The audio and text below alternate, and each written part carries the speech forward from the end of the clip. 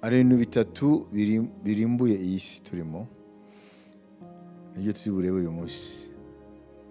Turebe ukuntu ubwo burwayi tuburwanya. Icya mbere ni ubujiji. Mu by'imana.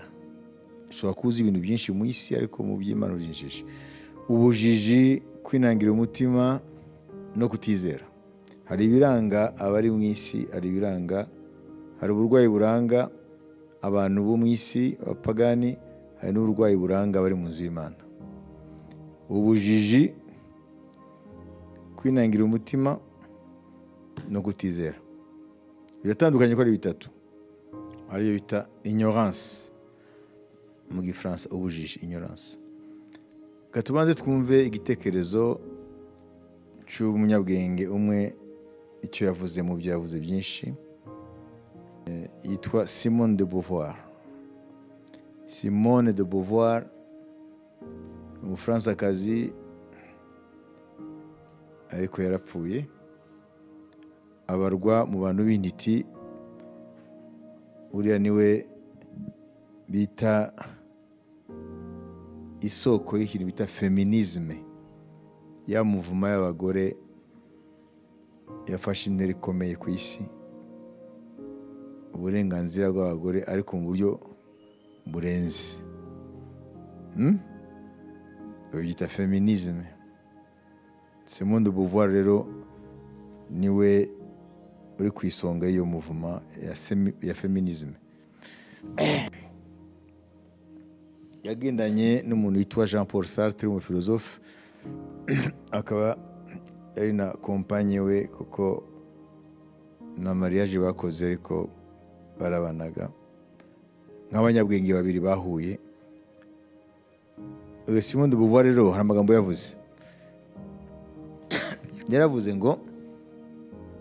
le principal fléau de l'humanité n'est pas l'ignorance mais le refus de savoir. Hein? le principal fléau de l'humanité n'est pas l'ignorance mais le refus de savoir cy'inyokomuntu ntabwo ari ubujiji ni ukwanga kumenya. Mm. icyo muracyumva ngo icyago gikuru isi ifite ntabwo ari ubujiji ahubwo ni ukwanga kumenya. Bivuga iki?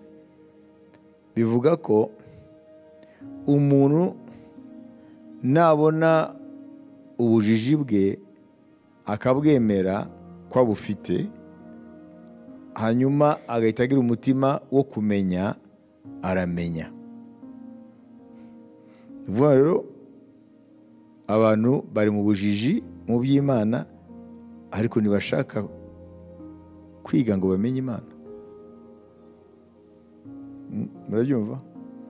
Bien sûr ntabwo simone de beauvoir yaravuga iby'imana. Yararavuga muri le principal fléau de l'humanité ce n'est pas l'ignorance mais le refus de savoir. Uyu ni simone de beauvoir. Uri mu bujiji muri ibi n'ibi kandi ntushaka ubuvamo. No mu nzu y'imana rero niko bimeze. Abantu benshi bafite ubujiji mu by'imana bari mu nzu ntibashaka no kubuvamo. None se bazabuvanamo n'iki turiho turavuga iby'isi kugira ngo dukomperene ibyo mu nzu y'imana. Kuko bwa burwayi tubavuze ubujiji kwinangira imitima no kutizera. Ubwo uravuga ati kwinangira imitima si ko kutizera turaza kubibona. Eh, ni ukuvuga ngo muri izo ndwara harimo n'uburwayi buri mu itorero. Hari undi yitwa daniel bustin. Yaravuze ngo we ni umu historien américain umunyamateka w'umunyamerika le pire ennemi de la connaissance n'est pas l'ignorance mais l'illusion. Le pire ennemi de la connaissance n'est pas l'ignorance mais l'illusion. Uyu aravuga ngo umwanzi wa mbere wo kumenya ntabwo ari ubujiji ni ukwibeshya kubi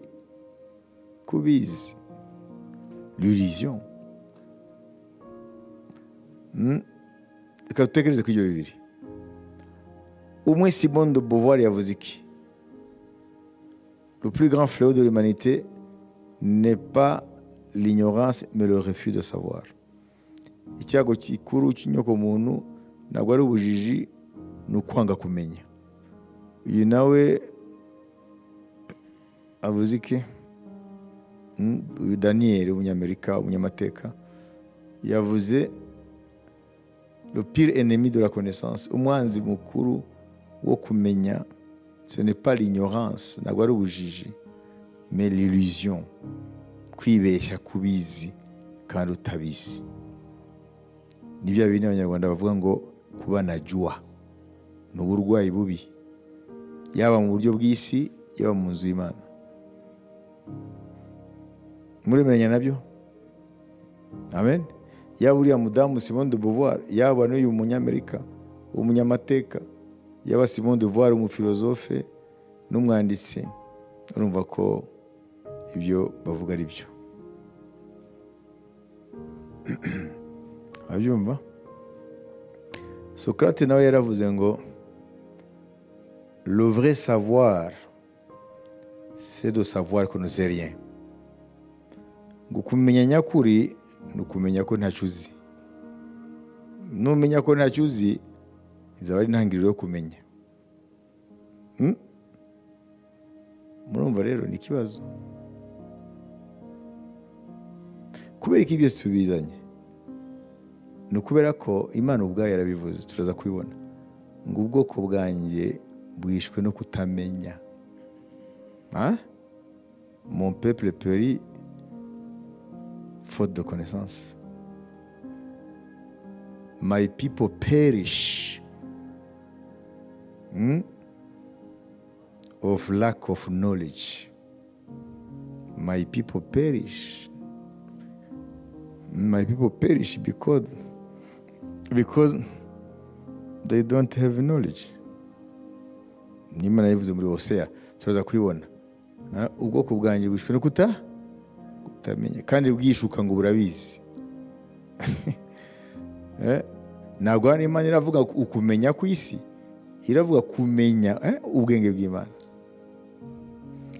Umuntu witwa william taylor mm, wo muri amerika aravuga intambwe eshanu zo kumenya. Intambwe eshanu zo kumenya. Nyakuri. Chaque étape dans l'acquisition de connaissances Ko- biguye compétence icya mbere ni ukumenya neza ko ntabwo uzi Mm. kumenya ko utabizi. Consciente. Ndabizi ko ibyo ntabyo nzi. Icyo ni icya kumenya ko uta- utabizi aho kwishuka ngo urabizi? Icya kabiri les compétences conscientes. Kumenya ko ntabyo uzi. Hmm? icya mbere ntabyo uzi ariko ntabwo uzi ko utabizi si byo se? Icya kabiri ntabyo uzi kandi urabizi ko uta- utabizi. Icya mbere ntabwo ubizi kandi ntabwo uzi ko utabizi. Icya kabiri ntabwo ubizi ariko urabizi ko uta- ko utabizi icya gatatu la compétence consciente. Hmm? urabizi kubizi. Hmm? Ntabwo ari ubwirasi urabizi ko?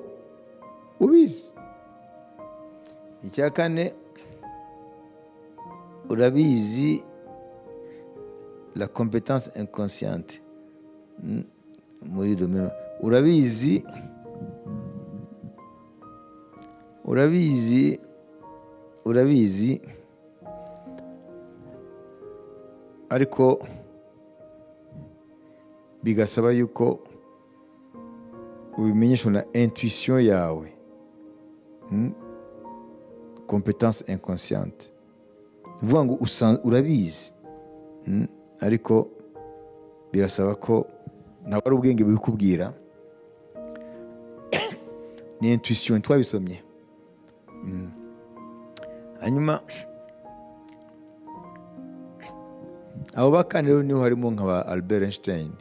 Kubera ko ibyo bari bazi ubwabo barabivuga ngo ntabwo ari ubwenge bwabibigishije. Intuition. Mm, intuition mubizi. Iba muri esprit. Eh. Biriya ba albert einstein bavumbuye barahamya ko babi- babigejejweho na intuition. Kuko ubwenge ntabwo bari kubabwira biriya bintu. Mm. ni ukuvuga ngo hariho connaissance hariho kumenya kuba muri intuition. Amen. Kandi murabizi ko imana yaraduhishuriye ko umuntu agizwe n'ibintu bitatu. Agizwe n'umwuka nawe ugizwe n'ibintu bitatu n'ubugingo nabwo bugizwe n'ibintu bitatu n'umubiri. Icya nyuma la compétence réflexive. Donc la capacité à transmettre sa connaissance. Uvuga ngo rero iyo umaze kunyura muri bya bintu bitanu icya gatanu rero ukigezeho uba uri capable uba uri mu rwego rwo- guha abandi bwa bumenyi. Wabibise Mm? In- eh, intambwe ya gatanu. Ni ukuvuga ngo uba uri noneho ufite ubushobozi guha abandi ibyo ibyo uzi wabibise Mm. kuko wamaze kurenga kwishuka ku bizi wabibise ibyo wabivuyemo cyangwa kutamenya kubi kubizi ibyo wabivuyemo amen. Biriya byose twabivuyemo noneho ukagera ahantu rero wumva yuko noneho ibyo uzi urabizi koko. Kandi ushobora no kubiha abandi Eh, udashidikanya kasubiremo 1. L'incompétence inconsciente n'est pas savoir ce que l'on ne connaît pas. Hmm? Donc, l'incompétence inconsciente, cyane cyane ibyo biba ku muntu ari novice ku muntu agitangira muri domaine runaka Eh, iyo umuntu agitangira aba azi ko ntabwo amenya ubuswa bwe aba azi ko abizi sibyo Mm. ari inconscient yuko ari incompeta Mm. hanyuma na niyo mpamvu paul yabwiye timoteo ngo umuntu kugira ngo ajye mu mirimo y'imana amen eh, isaba responsabilite runaka ngo bazajye bareba ngo ntabe agikijwe vuba. Ngo ntabwo umutego wa mwanzi akamwanduza ubwibo ubwibone. Kandi ntakwiriye kuba uhindutse umukristo vuba kugira ngo atikakaza akagwa agacirwaho iteka satani yaciriweho. Mm, niko icyatumye sanacirwaho iteka? Yashatse kwireshesha nima n'isumba byose. Mwumvise? Eh.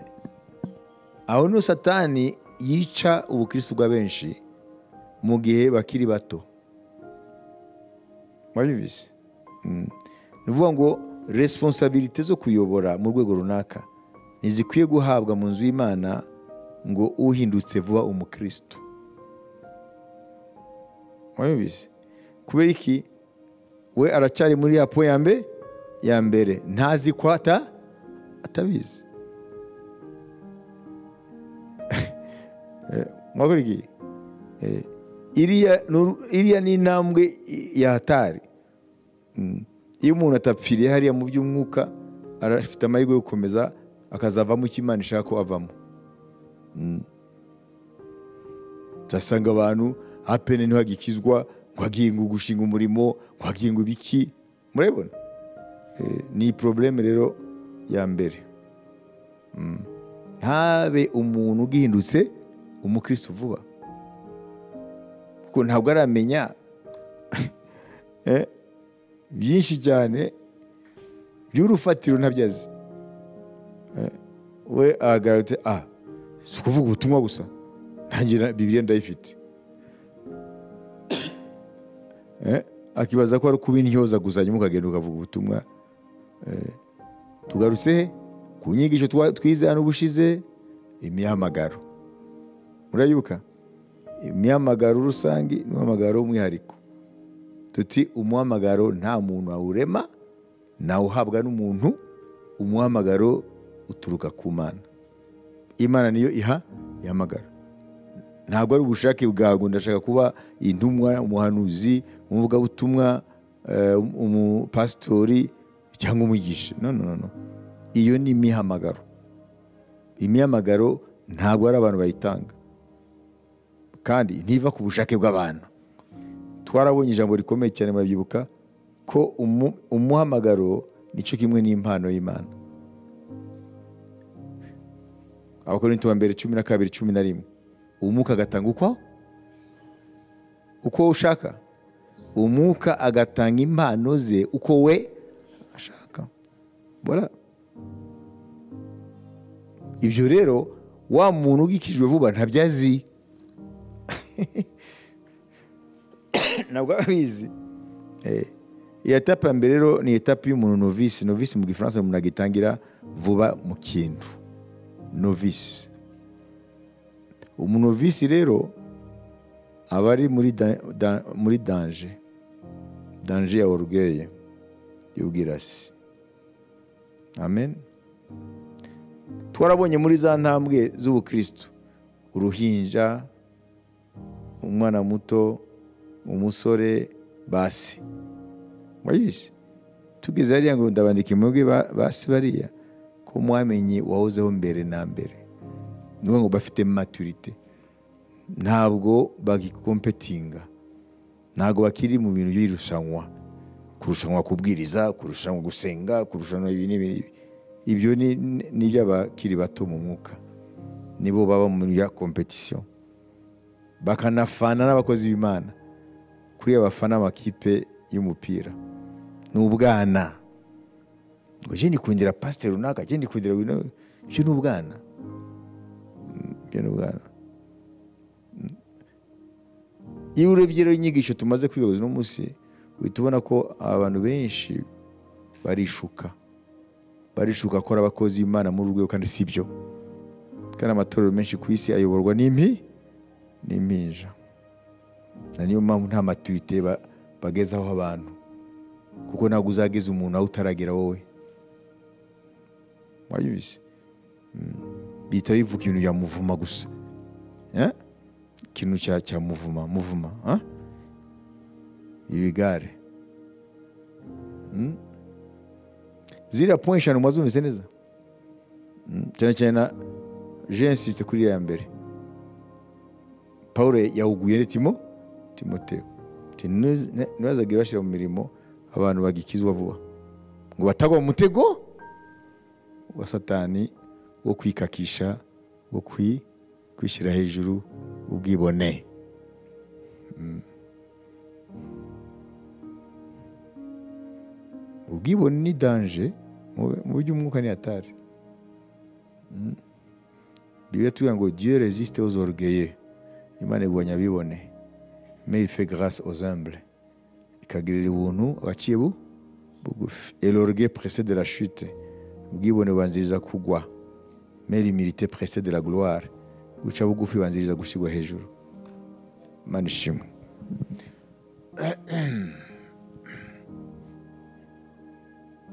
Mhm, mwabibonye Mm.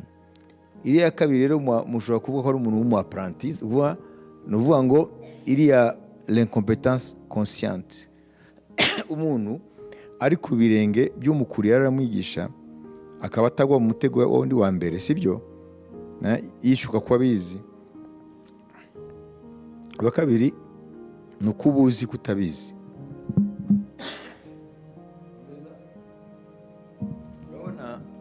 yesu yahamagaye abigishwa. Na yohani yari afite abigishwa. Abigishwa rero barangwa no kumenya ko batabizi. Na niyo mpamvu bemera kuba ku birenge by'umwigisha icyo byabasaba cyose. Iriya kabiri ni apranti uwa mbere ni novisi eh?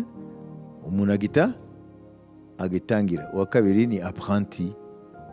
Ariko mu by'ubwami bw'imana ni disi disciple au pied du maître ari we ariga.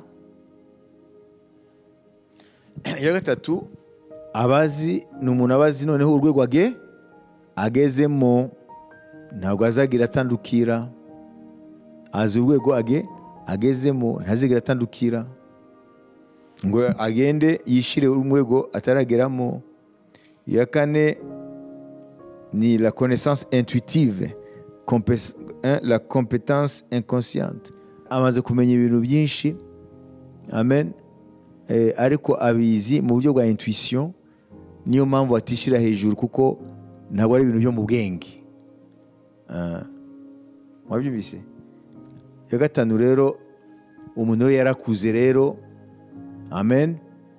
Muri iyo domene muri byo arimo nimba ari iby'ubwami bw'imana amaze gukura kugeza ahantu runaka noneho ashobora kandi none ashobora gutaransimeta Eh, ni byo bita umuntu ari macuwa mure maturite ashobora guha abandi ibyo ya?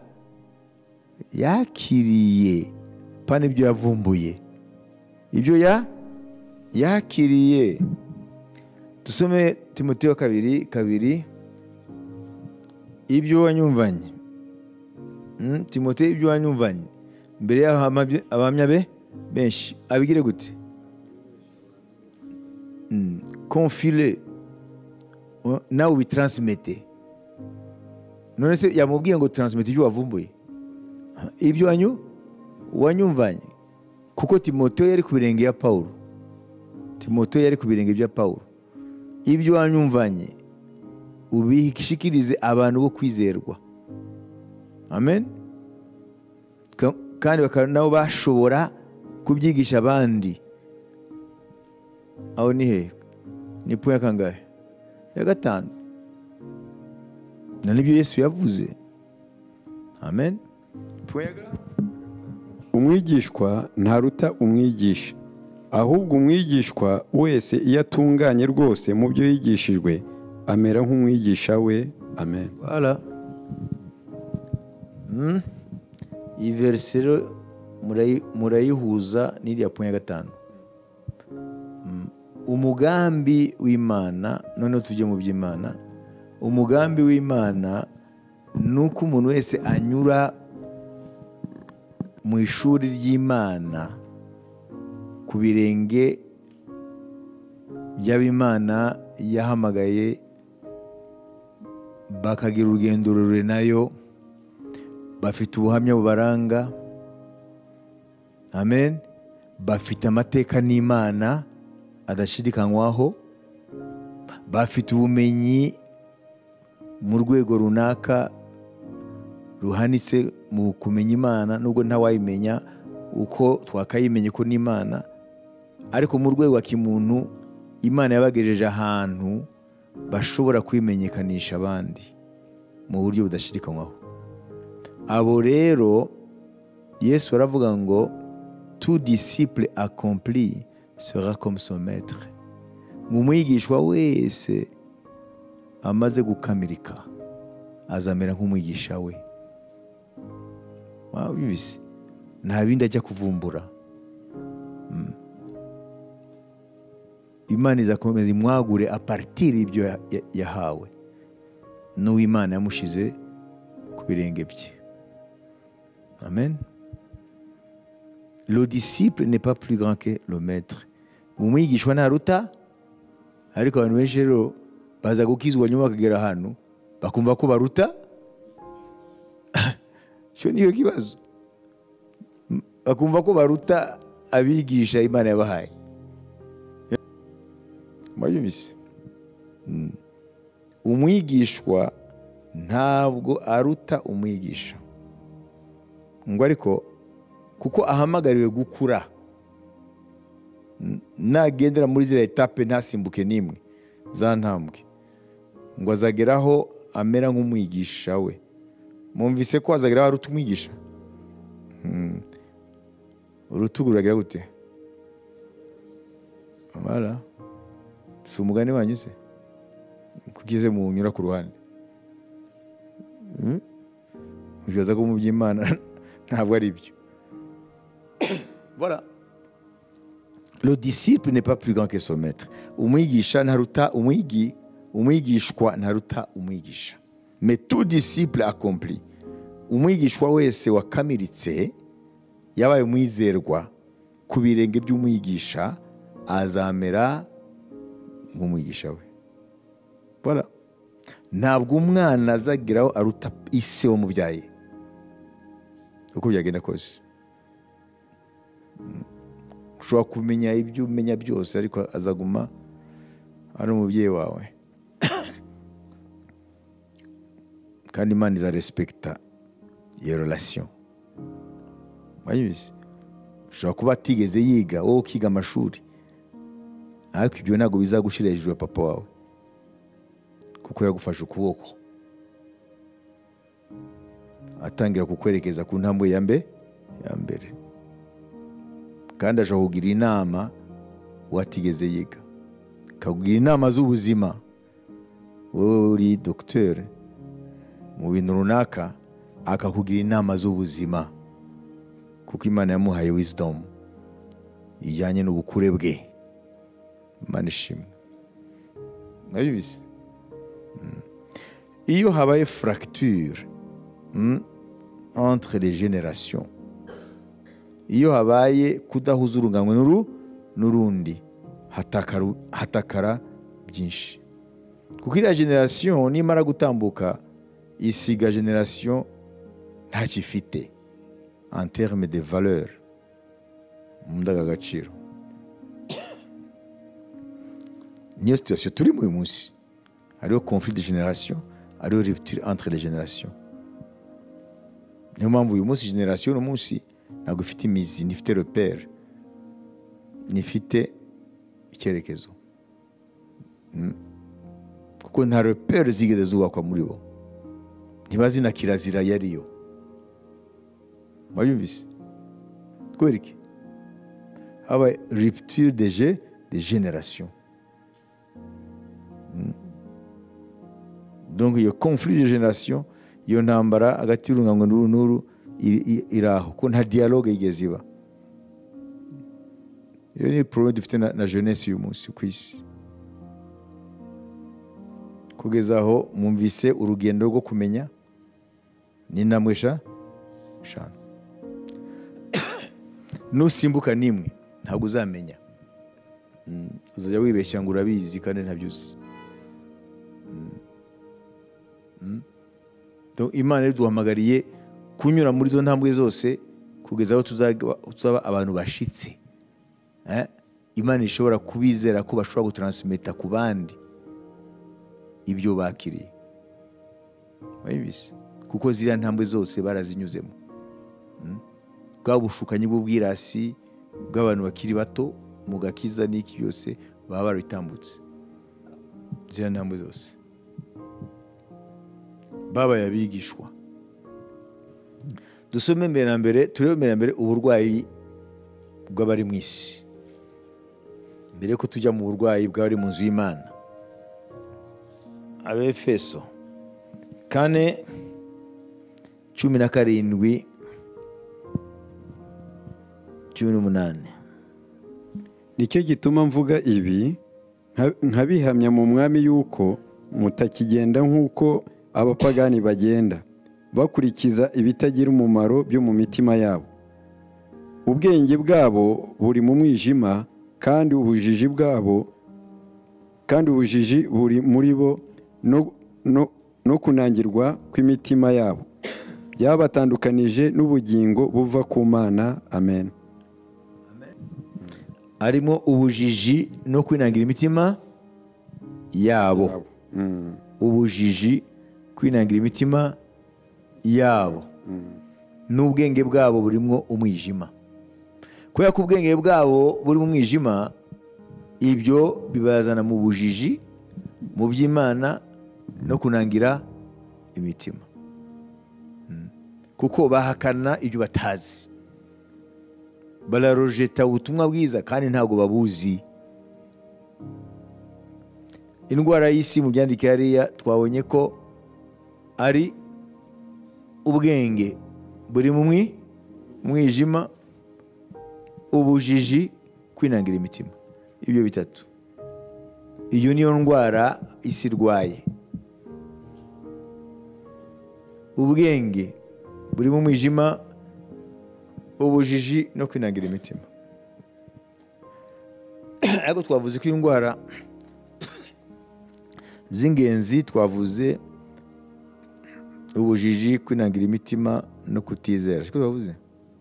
Mm. rero hano biri bivuga ngo ikiranga abantu b'isi batizera n'ubwenge buri mu mwijima harimo ubujiji harimo kwinangira imitima. Ubwenge bw'isi ntabwo bwabashije isi kumenya imana. N'ubwenge bw'imana buduhesha agakiza isi ntabwo ibusingira ikabwanga itanabuzi ni byo dusoma mu bakorinto wa mbere bw'igice cya mbere. Ngo isi ntiyamenye imana mu bwenge bwayo. Byatumye imana idukirisha twebwe ubupfapfa ijambo ry'umusaraba. Abakorinto wa mbere. Rimwe makumyabiri na rimwe. Kuko ubwenge bw'imana bwabategetse ko bwategetse ko ab'isi badahe- badaheshwa kumenya imana n'ubwenge bw'isi. Imana yishimiye gukirisha abayizera ubupfu bw'ibibwirizwa. Dore abayuda basaba ibimenyetso ni 21 gusa wabyumvise Mm. hari ubwenge bw'isi hari ubwenge bw'imana. Ngo isi n'ubwenge bwayo ntabwo yabashije kumenya imana. Ko kumenya imana biheshwa n'ubwenge bwayo ubwayo yatanze. Ubutumwa bwiza buhishwemo ubwenge bw'imana. Isi rero yareba ubutumwa bwiza igasanga ari ubupfapfa. Niyo mpamvu rero batubwiye ngo uburwayi bw'isi ni uko ubwenge bwayo buri mu mwi- mwijima. Buriya isi izi yuko ariyo ifite ubwenge. Izi yuko iyi bibiriya nta bwenge burimo. Mm. niyo mpamvu umuntu yakijijwe ab'isi baramuseka. Ubwenge bw'isi ntibushoboza ab'isi kumenya imana. Ko imana bayimenyera mu bwenge bwayo. Ntabwo ari ubwenge bw'isi. Rero ab'isi mwumvise ko barangwa n'ibintu bitatu? Ubwenge buri mu mwijima ubujiji no kwinangira imitima. Amen. Twese tutarakizwa niko twari tumeze. Twari dufite ubwenge bwacu. Twatojwe n'isi. Ubwo bwenge rero tuje mu mana dusanga ubu bwenge ntacyo ntacyo wadufasha mu kumenya imana. Ni ubwenge budufasha kuba muri iyi si ariko ntabwo budufasha kumenya imana. Niyo mpamvu yesu yavuze ngo abana b'isi bafite ubwenge mu by'isi kuruta abana b'ubwa ubwami ni ukuvuga ngo aba- abantu b'isi bafite ubwenge mu by'isi. Ariko ubwo bwenge ntacyo bwabamarira mu kumenya imana. Kuko imana ifite ubwenge bwayo butandukanye n'ubw'isi. Ntushobora kuyimenyesha ubwenge bwawe. Aho rero ni ho wa muntu ari mu ntambwe ya mbere eh, aho ni we umugore rero. Kuko aba acyuza ubwenge bw'i- bw'isi. Ya namwe ya mbere murayibuka. Amen. Ntabwo uzi ko utazi. Eh, ubwenge bw'isi ntabwo bushobora kumenyekanisha imana. Ntibishoboka. Iyo imana ikubwiye ngo hari iby'igiciro byayo biri ahantu hahishe hari ubutunzi bwayo buri ahantu hatazwi. Umuntu w'isi ibyo yaba yakiriye. Ariko niko biri. Birasaba ko ubwenge bw'imana bukwinjiramo. Ukamenya ko imana ibyo ivuga iba ari ukuri. Ushobora kuba warakiriye impano yo kwizera ugakizwa ko ukizwa n'impano. Ushobora kuba warakira impano iguhesha agakiza. Wowe ntabwo ukiri mu batizera sibyo? Ariko ushobora kurwara indwara yo kwinangira umutima. Do l'incrédulité mukwiye kwitandukanya. Mm? ni ukuvuga ngo la foi kwizera twarabyize ko ari confiance ku mana. Sibyo? Ushobora kuba warizeye urakizwa. Ariko bikaba bikugora kugira ngo usingire ibyo imana ivu ivuga ko bishoboka. Ese imana ikubara mu batizera? No. Wowe warakijijwe warizeye urakizwa. Sibyo? Ariko mu buzima bwawe bwa kirisitu bigenda bikugora kwizera le promesse z'imana amasezerano y'imana. Imana ikubara mu batizera? Wowe uri mu muryango w'abizera. Ariko ururasitaragoringa na incredulity wayumvise? Donc kutizera si muri ya sanse y'agakiza. Eh, birakugora kwakira gusingira amasezerano y'imana. Mm? Ukuvuga ngo l'incredulité rero ntituyishakishe gusa mu bapagani. Tuyishakishe no mu nzu y'i- y'imana. Reka tukubaze ikibazo kimwe. Kugira ngo bigufashe. Ese toma. Yari yizeye hamwe na petero. Yari yizeye. Hanyuma igihe bamubwiye ko yesu yazutse yavuze iki? Ngo nintamukoraho nkareba aho bamutobaguye imisumari sinemera ko yazu yazutse. Ni umupagani se? Voilà. Ibyo muhita mubyumva yari mu bizera. Yari kumwe n'aba ariko ku byerekeye izuka rya yesu yabaye incredule amen. Ni ukuvuga mu- umutima we byarawugoye ku kubyakira ko yesu yazutse. Eh, ariko ntabwo bimuhindura umupagani. Eh, rero isi ifite indwara zayo ariko muri izo ndwara ari zo dusanga no mu y'imana pasike mu nzu y'imana incredulité turayibona Eh, ariko ntabwo ari abapagani Mm. d'ailleurs ubu si yo incredulité se si cyo kibazo si cyo kibazo Mm. abantu b'iki gihe se ndavuga mu nzu y'imana bafite incredulité Eh, ntabwo ari abapagani bagiriwe ubuntu bwo kwizera barakizwa ibyaha byabo birababarirwa ariko n'aba incredule Incredule wababwira ko imana ibeshyaho abantu ba- bagakanura. Hmm? bazi yuko ko isi itubwira ngo ni ukirwanaho yesu akatubwira ngo de rien Hmm? ngo ntimukiganyire. Ibi ni ibi ni ibi ni abapagani biruka inyuma so wo mu ijuru azi ko mubikeneye ni bangahe mu nzu y'imana byemera? None se bahise- bahindutse abapagani oya bafite incredulité. Hmm. Hmm? l'incrédulité ce n'est pas le manque de foi. Ya foi tuvuga foi y'agakiza amen. Ushobora kuba ufite foi y'agakiza ukwizera kw'agakiza ariko bikakugora gusingira amasezerano y'imana. Toma yarizeye. Niyo mpamvu yabazwe muri ziriya ntumwa. Ariko byaramugoye kwizera resurrection ya yesu kuzuka kwa yesu.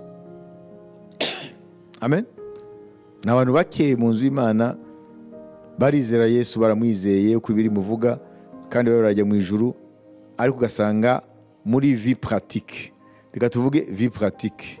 Mu buzima bwa buri munsi birabagora cyane. Birabagora kugira confiance imana mu byivuga.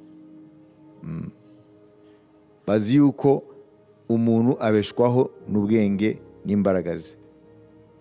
No kubazi amacenga y'isi. Na niyo mpamvu imirimo y'ubwami itangaje ntabwo ari nyinshi ikoreka. Pourtant mu, nzu y'imana abantu barizeye barakijijwe. La foi yo kwizera yo gukizwa barayifite. Eh, ariko kwizera amasezerano y'imana biragoye abantu muri iki gihe turimo. Kwizera ko ukora ibyo ushoboye nk'umuntu ibindi wowe ntuhangayike imana irabikora abantu ntabwo babyizera si benshi. Mm. kwizera ko imana ishobora kuguha amafaranga. Mm. utagiye kuri banki gukopesha ntabwo ari bose babyemera ibyo. Kuko babi- babishyira muri bwa bwenge bw'isi. Mm. ese amafaranga abaze ko aba ari muri banki akaba afite ba nyirayo bayabikije? Sibyo n'ibiki n'ibiki ah, turarezona nka- nk'abo bantu. Ariko kwizera imana mu masezerano yayo niyo bitugora. Kandi tukitwa ko twarizeye imana mu gukizwa. Turizera imana mu gukizwa. Ariko ikatugora kwizera ko imana itubeshaho. Mwayibizi c'est le problème urizera ko imana itaza kujugunya mu muriro urizera ko imana yaguye agakiza ariko birakugoye kwizera ko dieu pourvoit au besoin. Mm, imana ibeshaho abayo. Très difficile. None tukaba mu buzima bwa gikristo noneho bugahinduka rero. Iyo bitinze bihinduka idini ry'imitsi ireze dufate iminota cumi. Tekereze kuri ibi tumaze kwiga ibi.